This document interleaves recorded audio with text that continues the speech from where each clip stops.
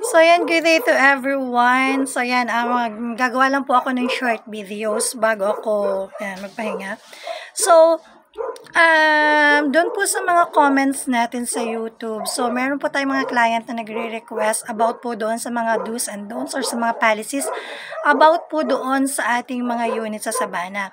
So, if you are planning po sa na magkaroon ng extension or kung gusto magkaroon ng extension sa likod, magpagawa ng extension sa kusina or magpagawa ng um, uh, what do you call that? Yung pong bakod at saka po gate. So first, ang kailangan po natin kung extension lang po sa likod ng uh, inner unit or ni townhouse or extension sa gilid ni um, end unit or ni mansion. So hindi po natin kailangan ng permit. Ano po, hindi po natin kailangan ng permit.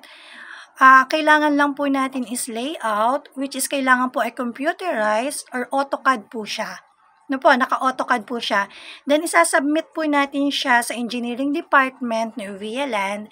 Then, for approval po siya 7 days prior. So, kung yun po ay extension.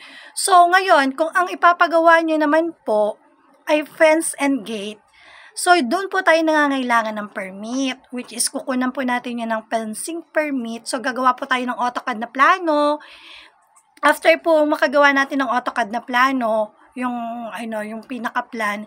So ito po ay ating ipapa-approve kay engineer sa engineering department. So na-approve po siya ng engineering department, siya po ay kukunan natin ng permit sa City Hall which is yung pong tinatawag nating fencing permit. So yun po yung kinakailangan, yung pong gate and ano.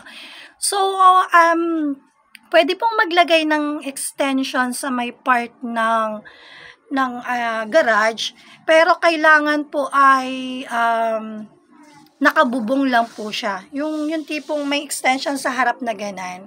Yun, for approval po ang bubong, pero bawal po ang slab. Slab, slab. So, pwede po siyang may extension na ganon, pero bawal po ang slab, ano. Then, meron po tayong tinatawag na 2.5 meters po. So, combination po siya ng uh, tubular or ng uh, what do we call that, stainless, and then hollow blocks. So, combination po siya kailangan. So, it's 2.5 meters po. Yung ating um, taas, taas po ng ating um, gate sa harap po. Then, sa gilid naman po sa likod is hanggang uh, 3 meters po. It's 12 to 15 na hollow blocks po yung taas na inaalaw doon sa gilid at sa likod po ng ating bahay sa extension.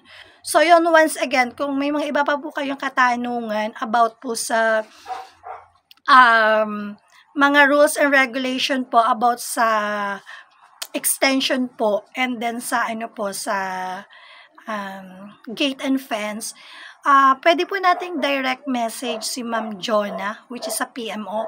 So, just comment down below. Bibigay ko po yung contact number niya.